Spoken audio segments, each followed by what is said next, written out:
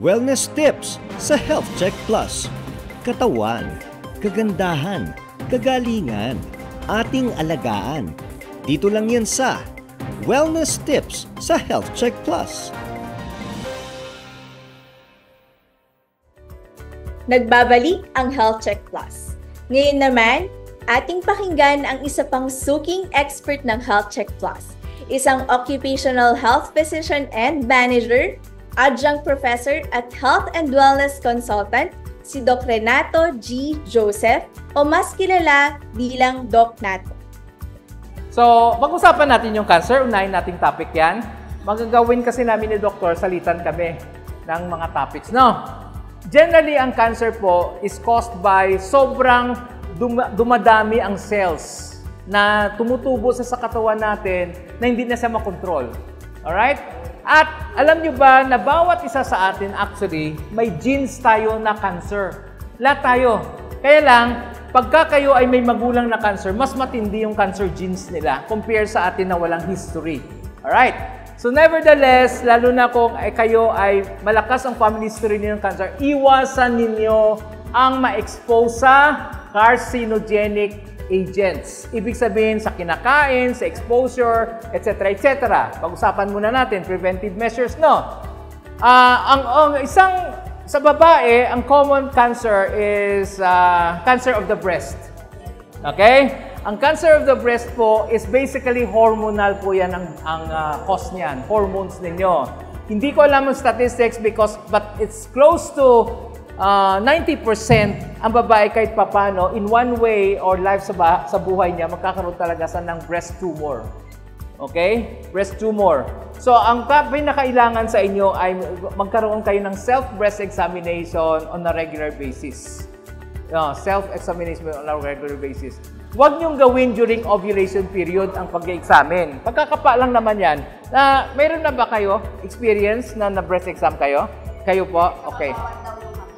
Breast examination is very important. Pagdating nyo ng 35 years old, pap smear din ang kailangan ninyo. No? Pap smear, magpa-pap smear kasi. Oh, number 3, cancer sa babae yan. Uh, cervical cancer. Cervical cancer is number 3. So, uh, ang sa cancer, anuman klase ng cancer po, ang pinaka-unang-una ninyong gawin sa isip ninyo na prevention is better than cure and early diagnosis. Early diagnosis. So, ibig sabihin, ang self-breast examination, early diagnosis tayo dyan. Ang sa pap smear, early diagnosis ng cervical cancer. Ang number two sa babae po na cancer is colorectal cancer. Cancer sa bituka. Number two po yan. Tatlong klase ng cancer, early diagnosis, stage 0, stage 1, ma-close to close to malakit na porsyento na makasurvive kayo ng full-blown cancer. Yes, madam.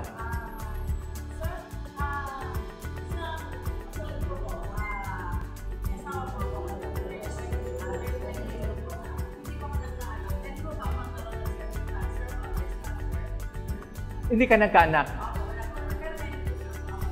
Okay. Uh, ang kanyang klaseng profile ng babae, kung compare natin yung cancer, uh, cancer of the cervix, it that would be less. Mas prone kayo sa endometrial cancer, sa lining ng mattress. Hindi sa cervical cancer. Bakit? Kasi ang uh, babae na hindi nabuntis, ang inyong uh, uterine lining, yung, yung dingding ng inyong mattress, ay hindi nakakaroon ng changes because of hormones.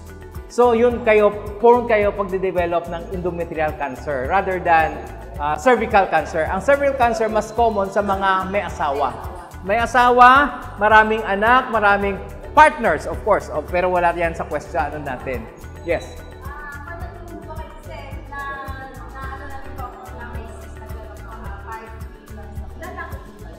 Ah, anong klase ito? Polyp?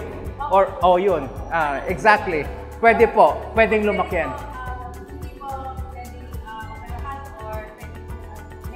Okay. I, I'm sure senior na po kayo. Mawalang galang naman. Ay, hindi pa? Nagme-regla pa? Nagre-regla pa? Ay, hindi na rin nagre-regla. 49. Ah, paano na-diagnose to? Yeah, ultrasound kayo? Bakit kayo ultrasound? May bleeding, may spotting. Ah, makapal ng liming. Ang description, makapal ang lining ah, pero wala pang bukol.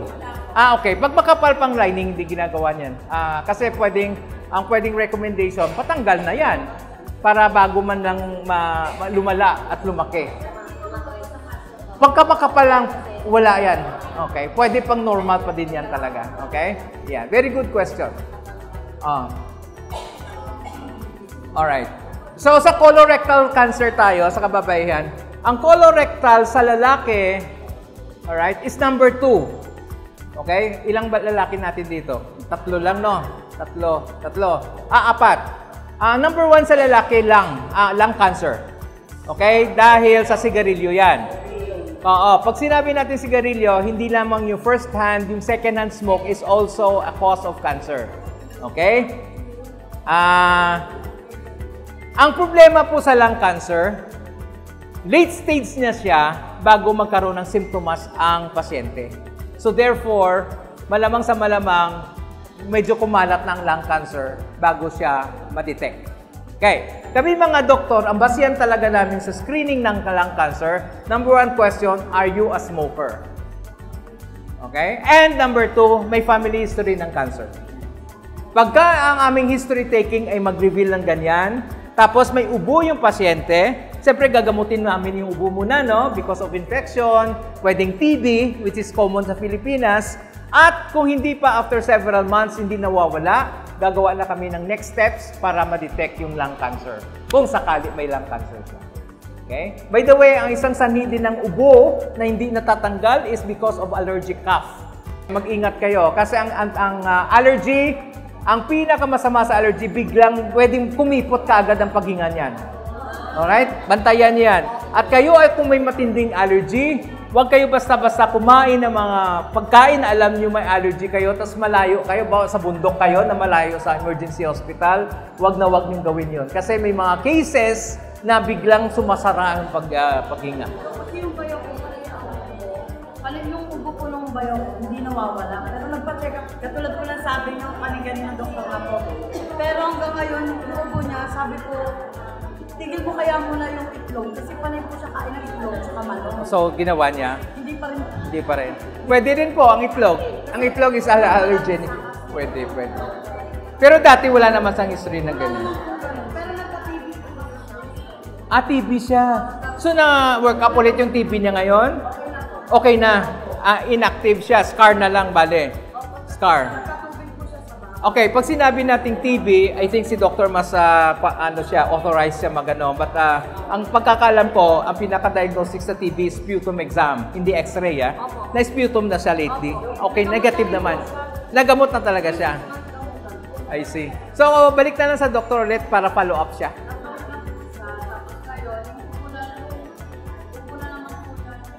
Nandyan pa rin. Okay. Baka may allergy talaga siya. Yun nga si Teresina ang niinom niya. Ah, wala pa? Big zero. Big syrup, hindi, hindi anti-allergy yun eh. Anyway, mas maganda pa talaga din na magpa-doktor siya pa sa ma-review ng doktor ang history niya. Ano po? Okay, dito may, may tanong. Dito tayo para mas sa camera tayo.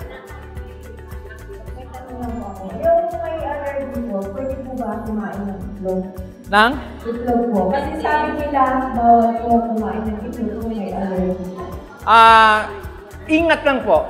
Kasi pag may allergy nga ang tao, hindi natin masabi, pag ba may allergy ang tao, pwedeng ibang pagkain allergy, allergic din siya. Oo, matitrigger siya. At saka, hindi lang yan. Ang taong dati walang allergy, pwede later on in life magka late, late onset allergy. Alright? So mag-ingat lang tayo sa allergy. Yung tao po bang naninigarilyo, posible magkaroon ng lung cancer sa atin? Ay, sabay. Pwede. Pwede, pwede. Sabay na sabay talaga. Okay? Ang smoking talaga, ang natataka ako, yawa talaga yung sigarilyo na yan eh. Kung sino nag-invento ng sigarilyo na yan. Okay, vape is very dangerous. Okay? Ang vape po, una muna, like 5 years ago, okay. Pero later, na-discover nila, marami pang chemicals ngayon na pinag-aaralan sa vape. Okay? That is the reason why hindi lang sa Pilipinas ban ang vape. All over the world banned yan. Kailangan talaga ng lisensya yan bago tayo mag-vape. Kasi, tulad ng sinabi ko, marami pa pong chemicals ang vape na hindi pa hanggang ngayon pinag-aaralan pa ng WHO. Alright? So, napansin ninyo, I think Quezon City, including Quezon City, no smoking, no vape in public places pa rin. And that is covered by law. Hindi lang uh, local, kundi national law. Kaya kung mawawala na kayo yung nagtitinda Yes, stricto lang. Nag, ah, pwede sila pero may lisensya sila to to sell. Oo. Very good question. Yung lagi po umuubo na inilan po natatanggal kasi naninigarilyo ano po. May posible po mo sa Ah, okay. Yes po. Ang number one risk factor talaga is, ng ah, lung cancer is smoking. Is smoking talaga. Kaya, ewan ko kung ang mga... eh, okay. Ah, actually po ang smoking kasi may, may psychological component yan. Alright? I do smoking cessation counseling sa company. So, napag-aralan ko yan, nililecture ko din yan. Ah, marami sa mga pasyente talaga is ah, addict talaga siyan, addictive kasi ang nicotine. Hindi sila maka-function ng normal kung hindi sila maninigarilyo. Alright? Ano po yung cause ng, ah, kasi kung naranasan mo yun na 40 years old po ako. Ah, three, three months po akong nilalabasan ng dugo. Tapos, ang lalaki niya po lumalabas. Three months po ganun. Ah, during menopause to.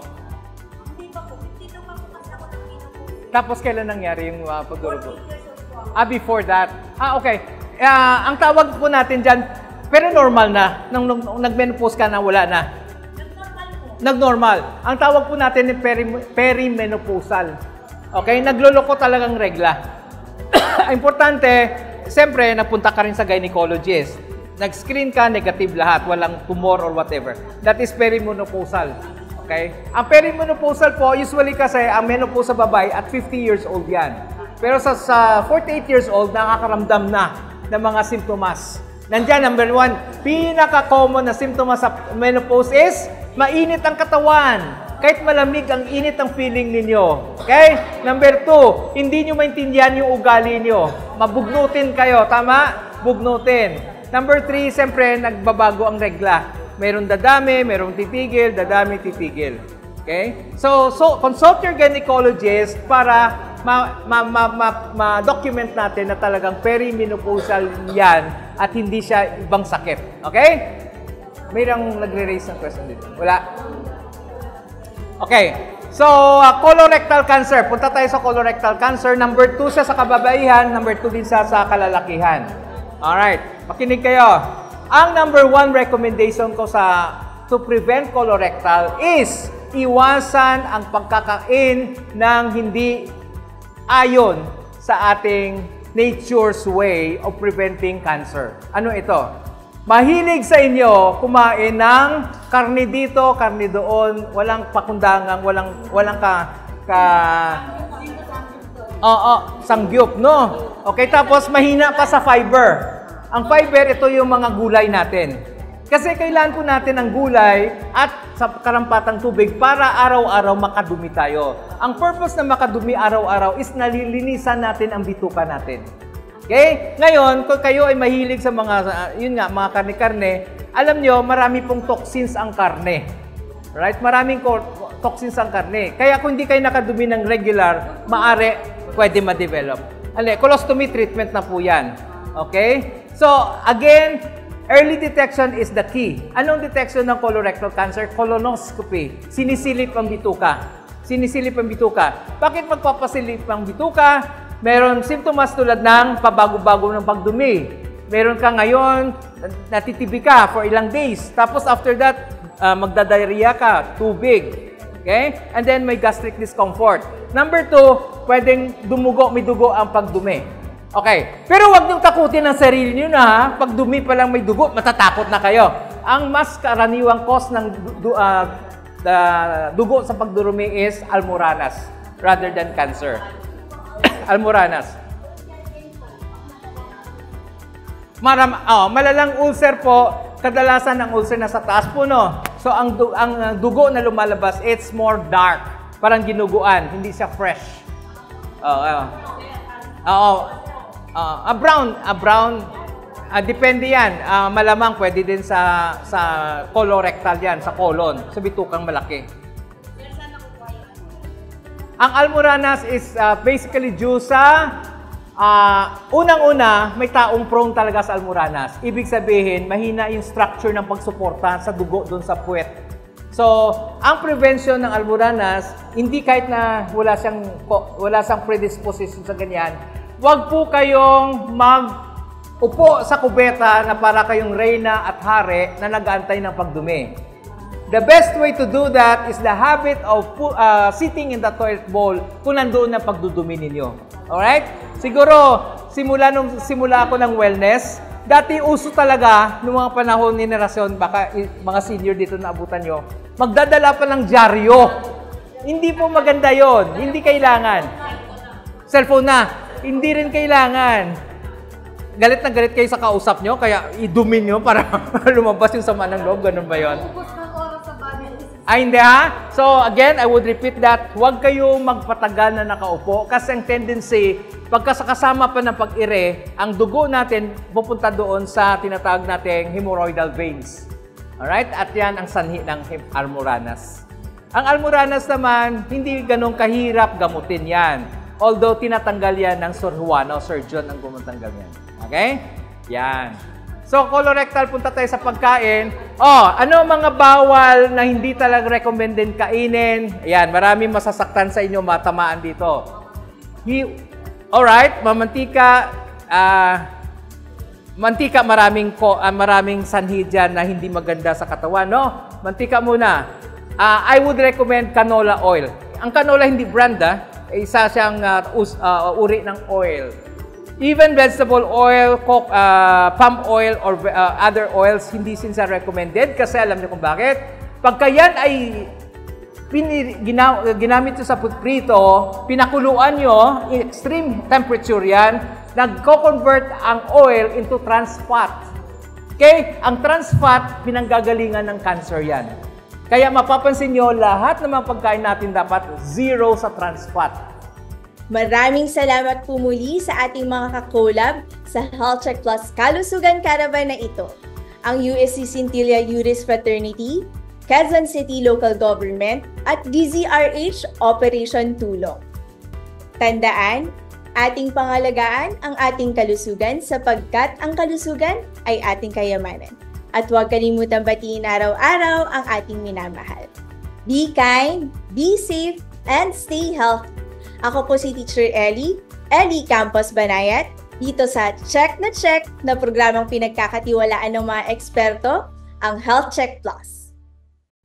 Wellness tips sa Health Check Plus. Katawan, kagandahan, kagalingan, ating alagaan. Dito lang yan sa Wellness tips sa Health Check Plus. Mga health checkers, 10,000 na po tayo sa YouTube at Facebook. Pagtulungan po natin abutin ang 15,000 sa pagtatapos ng 2024. Maaari ninyong balik-balikang panoorin ang ating mga episodes sa Health Check Plus YouTube channel or iscan ang QR code na makikita ninyo sa inyong mga screen. Mag-comment, mag-like, mag-subscribe, at i-click ang notification bell para laging updated sa ating mga features. Be a health checker.